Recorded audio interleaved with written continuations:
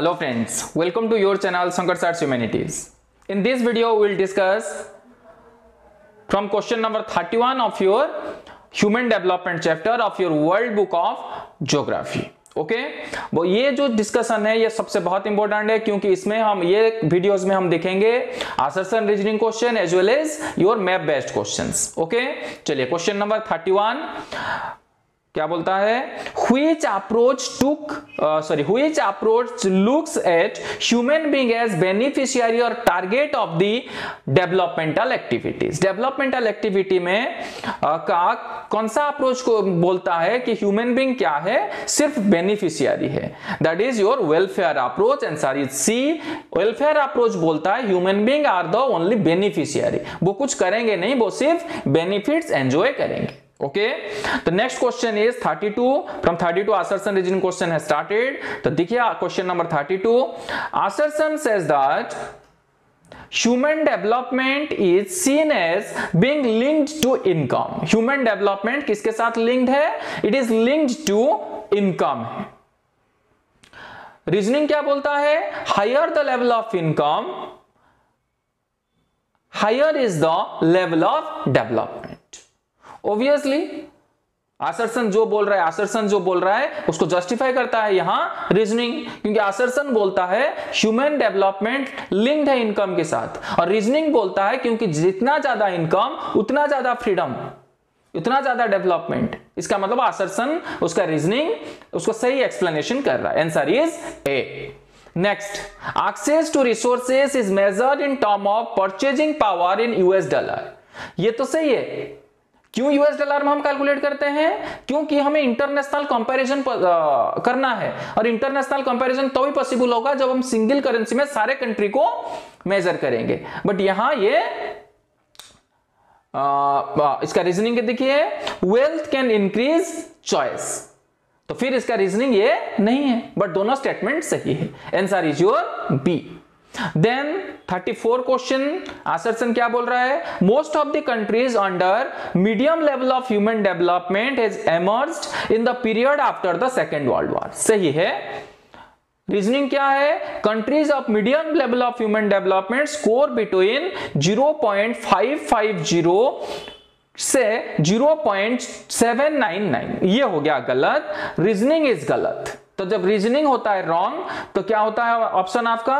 C next question question number thirty five that is size of territory and per capita income are not directly related to human development size of territory and आपका per capita income ये directly related नहीं है development के साथ। Obvious बात है। बहुत बड़े बड़े कंट्रीज़ हैं, लेकिन उनका रैंकिंग अच्छा नहीं है। नॉर्वे छोटे सी कंट्री है, उसके रैंकिंग बहुत अच्छा है।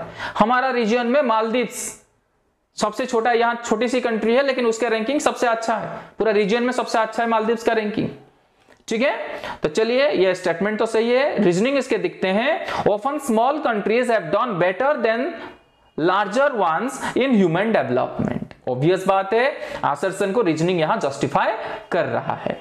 तो answer is 35 answer is your A next is next assertion बोल रहा है the political environment of the country and the amount of freedom people have is also important for high H D I high H D I के लिए political environment of the country and amount of freedom required है। सही है? Reasoning दिखते हैं, क्यों ये है सही? नहीं क्यों मतलब ये लॉजिक दिखते हैं इसका सही है कि नहीं है? Countries with high level of human development invest more in social sectors and and generally free from political turmoil तो जस्टिफाई कर दिया अब।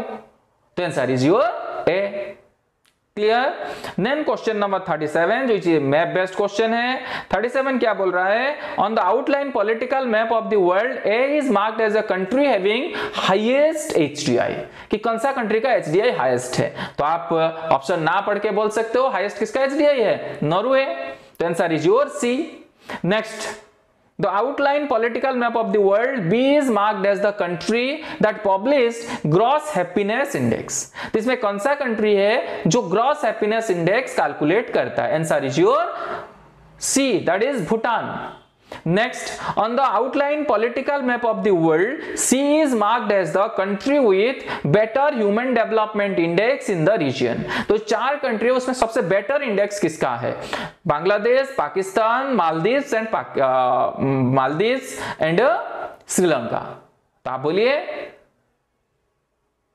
ऑब्वियसली मालदीव्स का सबसे अच्छा है answer is your B next Next question number 40. On the outline political map of the world, D is marked as the country with least human development index in the region. तो option A that is Bangladesh B is Maldives C is Sri Lanka D is India तो क्या होना चाहिए answer that is A that is Bangladesh Bangladesh का ranking सबसे खराब है। बेटा इंडिया का खराब था बांग्लादेश से बट रिसेंटली इंडिया थोड़ा इंप्रूव कर गया है और बांग्लादेश ने इंडिया इंप्रूव नहीं करा है बांग्लादेश डिक्रीज हो गया है। Okay by that the chapter on human development is completed okay thank you so much for watching my videos please subscribe my channel so that मैं ज़्यादा से ज़्यादा इंटरेस्टिंग वीडियो आपके लिए लेके आऊँ थैंक यू सो मच